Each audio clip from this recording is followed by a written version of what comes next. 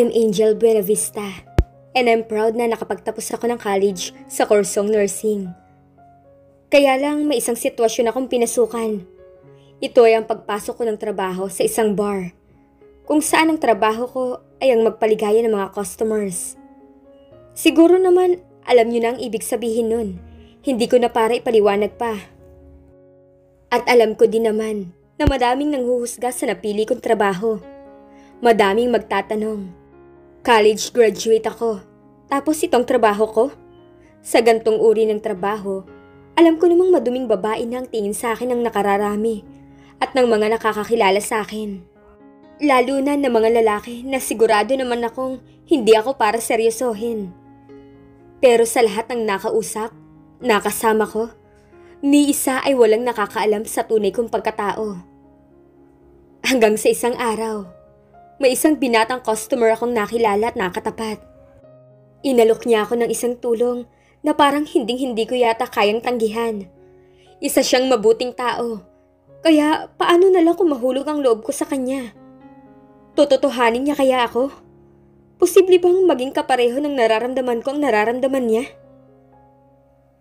Ano bang inilalok sa akin? At sino nga ba ang lalaking ito? Sigurado ako na yan po ang mga tanong sa isipan niyo. Kaya tara at ibabahagi ko na sa inyo ang kwento ng aking buhay. Hello mga ka-MV! Isang kwentong pag-ibig muli ang nais ko sanang ibahagi sa inyo na sana ay may isang aral o inspirasyon na manatili sa inyong mga puso. Ito ay pinamagatang Just for One Night. Pero bago tayo magpatuloy, kung bago ka pa lamang sa aking channel, ay pakilike po ng ating video. Pakiclick din ang subscribe button at bell icon para lagi kayong updated sa mga parating ko pang uploads. Wow! Mukhang ang ganda naman ng offer niyo para sa serbisyo ko. 10,000 just for one night? Parang ang hirap naman ata tanggihan nun. At ilan naman kayo? Sabi ni Angel sa mga lalaking customer na kausap niya. Masyadong malaking pera ang inaalok sa kanya ng mga ito para lamang sa isang gabing serbisyo. Marami kami pero sa celebrant ka lang magseserbisyo. Napangiti siya. At bakit nga pala akong napili nyo? Marami naman diyang iba diba? Sabay taas ng kilay. Bakit? Ayaw mo ba? I'm just curious. Bawal ba magtanong? So, ganto kasi yan. Naiiba ka kasi. Marunong kang mag-English. Sosyalin, may class ang dating mo. Bakit? Anong lahi bang celebrant? Alam mong hindi ako pumapatol sa imported. Cool ka lang, Pilipinong-Pilipino ito. Kaya lang binata pa na mayaman, kaya medyo maselan. Maselan pala. E paano ka makakasiguro na magugustuhan ako nun? Boto sa'yo mga kaopisina ko. Unang kita pa lang sa'yo, alam nilang ikaw ang tipo ng babaeng hindi matatanggihan ng sinumang lalaki. Sus, nang bola ka pa. Totoo naman yun. Naalala mo ba nung una tayo magkita dito? Nang i-table kita at ilabas? Matapos ang gabing yun, inaya kitang pakasal. Natawa siya sa pinaalala ng lalaki. Kaya lang hindi ka naman pumayag. Dahil hindi nga ako naniniwala sa kasal. Walang forever, no? Isa pa nga yan sa hinahangaan ko sa'yo eh. Kung ibang babae yon baka nagkakandara pa na sa pag-oo. Matakasan lang ang kinalalagyang buhay, kahit wala siyang damdamin para sa lalaki. At kahit may damdamin na sangkot, hindi pa rin ako pakakasal. At bakit naman? Dahil ang kasal panghabang buhay yan. Ang pag-ibig, hindi. Natahimik ang lalaki, pagkatapos ay napangiti. Ilang buwan na kitang dinadalaw-dalaw dito, pinapanood sumayaw. At ang buong akala ko, kilalang kilala na kita. Pero parang sa tuwing mag-uusap tayo, lagi mo akong sinosorpresa ng mga bagay na sinasabi mo. Minsan tuloy naiisip ko, katawan mo lang ang pwedeng iuwi at bayaran pero ang pagkatao mo, parang wala pang nakakaabot. Kailangan yun sa trabaho ko, no? Bakit ganun? Isang beses ka lang pwedeng maangkin. Hindi mo binibigyan ng second chance sa customer na kagaya ko. Kahit handang magbayad ng malaki, tumatanggi ka. Maingat kasi ako eh. Saan? Sa sakit? Tumango siya at muling ipinagkaloob sa kausap ang maganda at malamis niyang ngiti. Isang bagay na lubos ding hinahangaan ng mga lalaki sa kanyang pagkatao. Oo, nag-iingat ako magkasakit. May halong biro ang kanyang sagot. Pero namimili ka na naman ng customer, di ba? At ako, wala naman akong sakit ah. Meron, hindi mo lang alam. Ano? Ito. Sabay turo sa dibdib ng lalaki. At ito. Saka itinuro naman ang ibaba nito. Natawa na lamang si Ralph. Ikaw talaga, oo. Kaya yata ang hirap mong kalimutan eh. Ibang-iba ka talaga. Kailangan yun sa trabaho kong ito para hindi ka kaagad pagsawaan. Kaya yata kahit alam kong hindi na ako makakaulit sa'yo, binabalik-balikan pa rin kita rito. Alam mo, Angel, gusto kitang tulungan eh. Gusto kitang ialis sa trabahong ito. Hindi talaga bagay sa ang trabaho dito. Dahil kahit naman papano, may natapos ka diba? Pwede ba? Huwag na nating pag-usapan yan dito. Huminto nga si Ralph. Bagay na nagpapatunay lamang na may respeto ito sa babaeng kaharap. So, kailan ba ang party? Ang tanong niya. Sa Sabado na ng gabi. Sabado ng gabi? Wednesday ngayon. So, bali may dalawang araw pa ako para maghanda. Kahit hindi ka naman maghanda, siguradong magugustuhan ka ni boss. Ang akala ko ba pihikan ng boss niyong ito? Pihikan talaga, kaya nga ikaw ang naisipan naming iregalo. Baka sakaling mawala ang pagkapihikan sa babae. Sabay tawa uli ni Ralph. Anyway, kailangan ko pa rin maghanda. I need to know kung ano ang topics na gustong gusto niyang pag-usapan at kung tungkol saan ang trabaho niyo. Para naman hindi ako magmukhang eng-eng sa party na yon at para hindi naman kayo mapahiya sa akin. Si boss ang may-ari at tumatay ang account executive. Kung ganon, makita tayo uli bukas. Ganito ring oras. Dalhan mo ako ng mga babasahin tungkol sa advertising na ito. Dalhan mo na rin ako ng mga ilang librong binabasa niya o nabasa na niya. O listahan ng mga pelikulang napanood na niya. Anything na basta tungkol sa kanya na pwede kong pakinabangan. Tumangol lang si Ralph at muling ngumiti. Hindi talaga kami nagkamali ng pagpili sa iyo. You are the perfect gift, Angel. At marahan itong hinalikan sa kamay ang dalaga. Natawa na lang din si Angel. Pagkatapos ay nagsimula ng mamaalam si Ralph. Tumayo ang maliit na lalaki mula sa pagkakaupo. Sabay silang lumakad patungo sa pintuan ng club. Are you sure ayaw mo talaga? Ang tanong nitong bigla, sabay baling ng tingin kay Angel.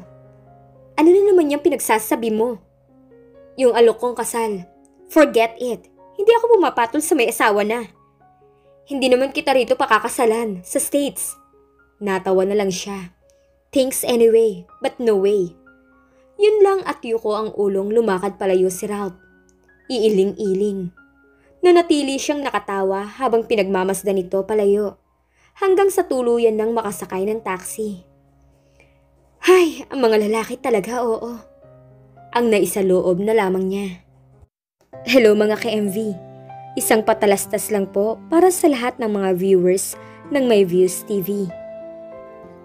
Una, maraming salamat po kay God para sa blessings na ito.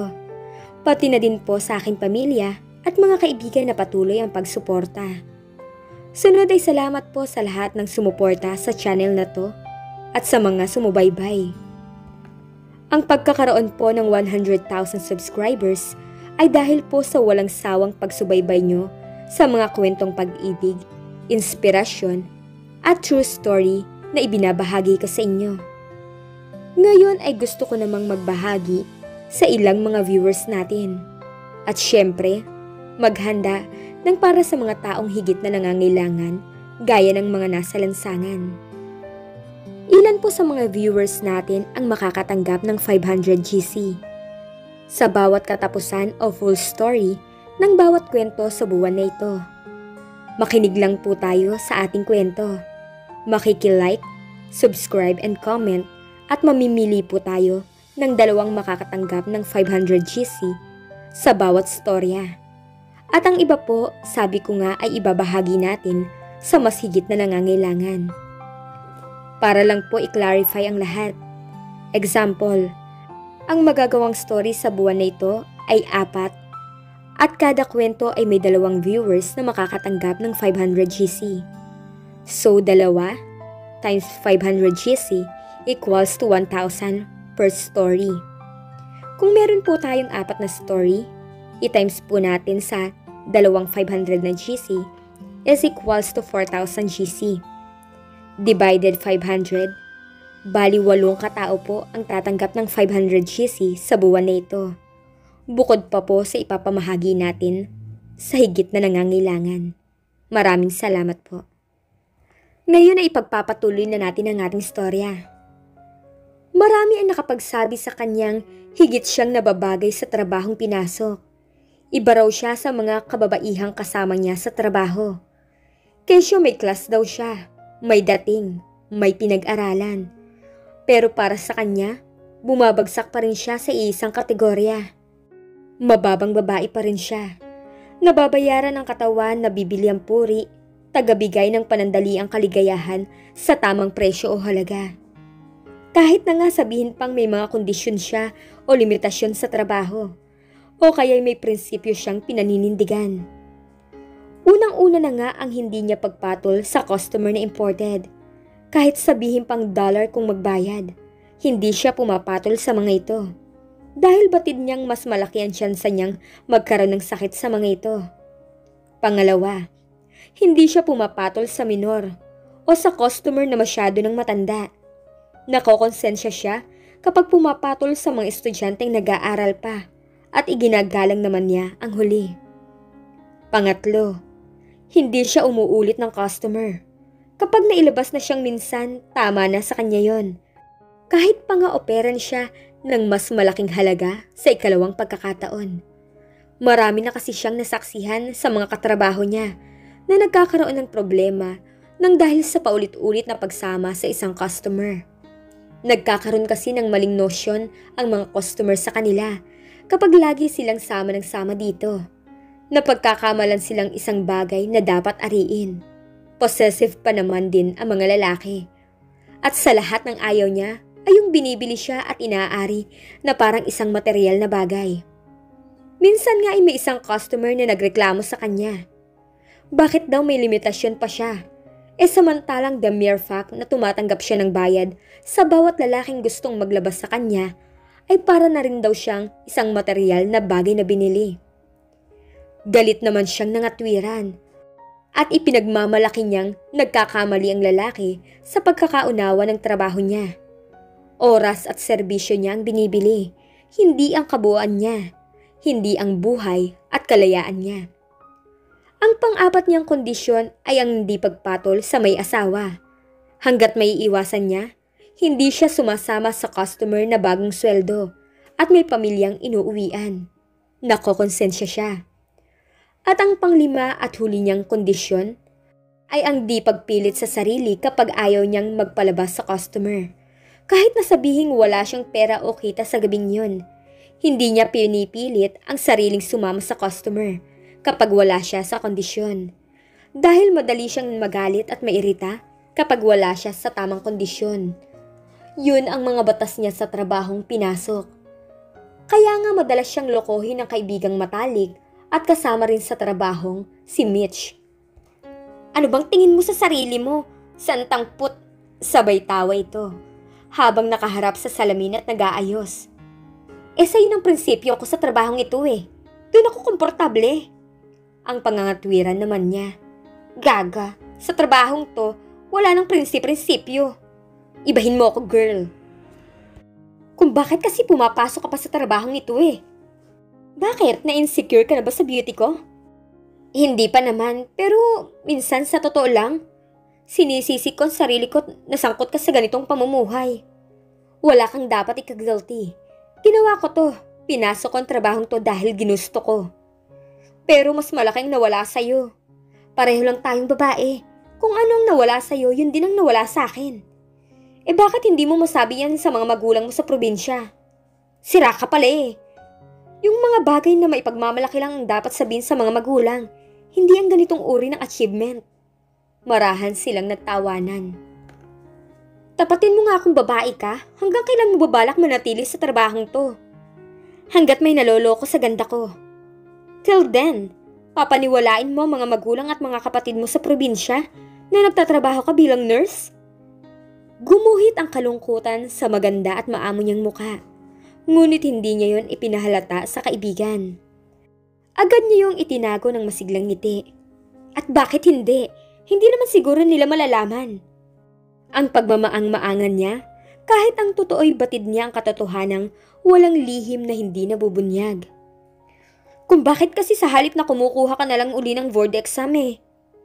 Biglang kumunot ang noon niya. Huwag mo nga mabanggit-banggit sa akin ang board exam na yan. Bakit ba? Eh, ano kung bumagsak ka nung una at pangalawa? May natitira pang isang chance. Bakit di mo kunin? Dahil maliwanag na sa akin ang mensahe ng Diyos na hindi ako nararapat maging nurse. Hindi niya ako ibabagsak ng dalawang beses kung karapat dapat akong maging nurse. Papaano ka naman nakakasigurong Diyos nga ang may ayaw? Eh kung demonyo pala, para madagdagan ang mga alagad niyang kagaya ko. Hehehehe, nakakatawa. Bakit? Totoo naman ah. Posible yun, di ba? Umiling-iling na lang siya. Pagkatapos, ay agad niyang tinapos ang pag-ayos ng sarili sa harap ng salamin. Uy, saan ba lakad mo ngayon?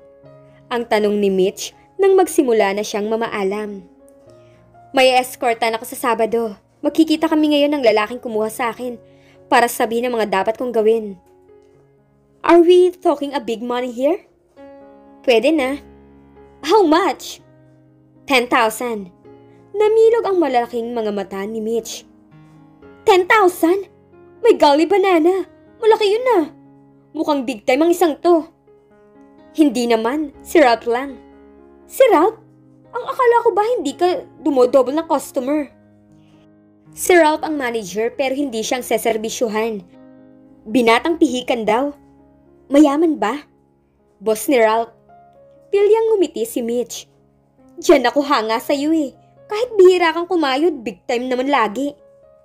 Masigla lang siyang tumawa.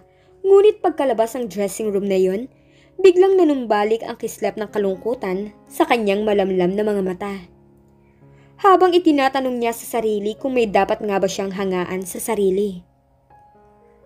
Agad nilang sinimulan ni Ralph ang usapan matapos magkita sa nasabing restaurant na kanilang tagpuan. Purely business ang kanilang pinag-uusapan habang kumakain ng merienda sa mamahaling restaurant. Ano ba klaseng party to? Ang tanong niya. The usual. Mga tao, sosyalan, plastikan, wines? ang kumpirma niya. Can you handle that? Ngumiti siya. Buong buhay niya, yun na ang naging buhay niya. Nasa high school pa lang siya ay mahilig nang mag-attend ng mga ganong uri ng pagtitipon. Kaya nga kahit hindi siya ganon katalino, ay nagagawa niyang mag-English ng diretsyo. Bunga ng pagdalo-dalo niya sa mga parties ay nahasa siya sa pakikipag-usap sa iba't ibang uri ng tao. At mula sa mga ito'y natutunan niya ang iba't ibang salitang English na madalas maging bukang bibig ng mga ito during the conversation. Isang dahilan din kung bakit madali siyang makagaanan ng loob. Halos marami na rin kasi siyang mga taong nakausap at nakaharap sa mga party. At karamihan sa mga ito'y may iba't ibang mga ugali o moods na tinatawag. At ang isa pa, kahit ganung babae siya, ang madalas niyang maging trabaho ay ang maging escort ng mga mayayamang customer sa mga parties na dinadaluhan ng mga ito na afterwards ay sineserbisyuhan niya sa kama. Magiging usual din ba ang pakikitungo ko sa boss niyo? Ang tanong niya. What do you mean by usual? The same routine. Aarte akong escort niya during the party. Then, afterwards, hindi na niya itinuloy. Dahil nagpakita ng malisyosong ngiti si Ralph at batid niyang alam na nito ang ibig sabihin niya. At tumango ito. Guwapo bang boss niyo? Bakit mo na itanong? Not that it would matter. Curious lang akong malaman. Para alam ko kung papaano magiging reaction ko kapag nagkita kami. Muling ngumiti si Ralph. He's an attractive man. Attractive in what aspect? Yung muka o yung bulsa? In both ways. Eh bakit mag 50 years old na kamoy wala pang asawa? How the hell would I know? He's your boss. Pero hindi nangangahulugang Alam ko dapat ang lahat ng sikreto niya sa buhay. Baka bakla? I don't think so. Bakit? Natatandaan ko dati, may inililive-in siyang babae. Did the relationship work out? Hindi. At bakit naman? Aba, ewan ko. Ngayon, may nobya ba siya? Umiling ito. Wala, dahil kung meron, hindi ko ang ireregalo namin sa kanya. Siya naman ang napangiti. Talagang mahal na mahal niyo ang boss niyo ah. O sumisip-sip ka lang? Hindi ah. Mabait si Mr. Alcantara. Boss namin siya sa loob ng opisina pero once na nasa labas na kami, kaibigan ang turing niya sa amin. Natural. Kahit na papano kailangan din niya kayo. Pero ibang kabaitan niya. Lagi namin siyang nalalapitan sa tuwing nagkakaproblema kami. Mula sa akin hanggang sa pinakamaliit na tao sa kumpanya. Uminom ng tubig si Ralph. Sa katunayan nga, mahilig magsasali sa mga charity works ng si boss. Halos kalahati ng kinikita niya ibinubuhos niya sa pagtulong. Kinikilabutan ako sa sinasabi mo. Parang naiisip ko tuloy na hindi ako karapat dapat sa kanya sa Sabado. Muling sumilay ang malisyosong ngiti sa mukha ni Ralph. Mapagkawang gawa man si boss, lalaki pa rin yun. At ang mga lalaki, iisang kahinaan. Sa kama. At ikaw, Angel, ikaw ang perpektong instrumento na magpapalalim ng kahinaan niyang yun. Oo, hindi ko nakakalimutan. Magdadalawang taon ko ng trabaho to eh. Nagsimula siyang maglabas ng sigarilyo. Isinubos sa maninipis at mapupulang labi ang isang stick. Pagkatapos, pinasindihan kay Ralph. Now tell me about his staff. What staff? Ang takang tanong ni Ralph. Yung business niyo, advertising, right? Tumango ito. Ah, yun ba? What do you want to know? Everything you can tell me. Basta't maintindihan ko at yung makakapagbigay sa akin ng idea kung anong advertising na yan. Natawa si Ralph. Ewan ko, Angel, kung bakit kailangan pa nating discuss to. I mean, isang gabi lang kayo magsasama ng boss ko. Yun na nga eh, isang gabi lang kami magsasama. Eh what if kung dumaldal siya ng tungkol sa trabaho nyo? How am I supposed to react? He won't be talking up his business with you. Unang-una na, alam naman niya kung ano ang maibibigay mo sa kanya sa gabing yon.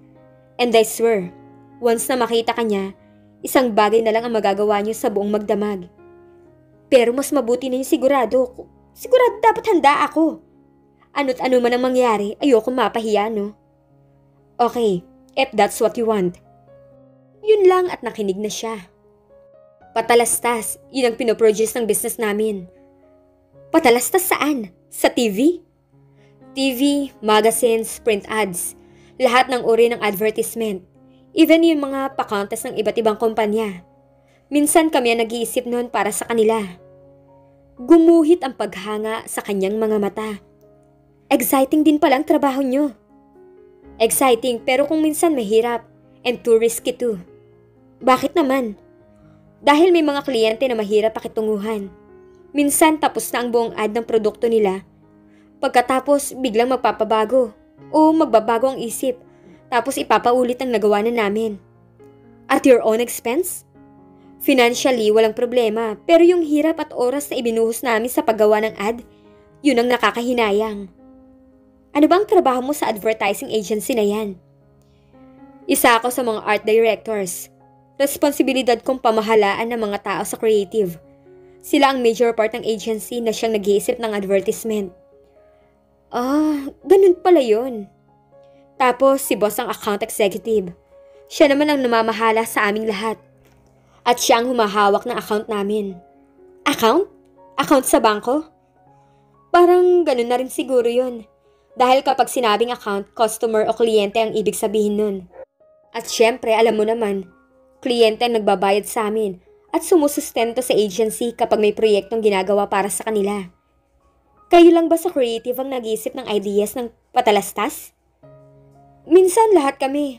During the meeting, nagpaplano kaming lahat kung anong nararapat na ad sa isang produkto. Ano-ano na bang nagawa niyong patalastas sa TV? Well, marami na rin. Pero ang pinaka-recent ay yung bagong gatas ngayon. Yung super milk na tinatawag. Parang napanood ko na nga ang commercial na yun eh. Yung bang may batang umiinom ng isang bagong gatas at pagkatapos biglang lumakas at nakalipad na parang si Superman? That's right, yun na nga. Nakakatawa pala. At napangiti rin si Ralph sa kainosentihang ipinamalas na yon ni Angel. Napakaganda't napakaamo ng mukha nito kapag ngumingiti ng ganun tungkol sa isang bagay na hindi alam. Eh yung bagong bareta ng sabon ngayon, yung Mother's Choice Bar. Napanood mo na ba yung ad sa TV? Alin, yung tungkol ba sa dalawang labanderang nag-mud wrestling? Habang pinag-aagawan ang bareta ng sabon? Yun na nga, anong masasabi mo? Mas nakakatuwa siya, kakaiba. Nakakanakaw talaga ng atensyon sa mga viewers. Precisely, dahil yun ang nature ng advertisement ang makanakaw ng atensyon para ma-motivate ang mga consumers na bili ng produkto. Naging mabili ba naman ang Mother's Choice Bar niyo? Ayon sa survey, hindi raw ganun kalakas. Ano sa palagay mo? Bakit?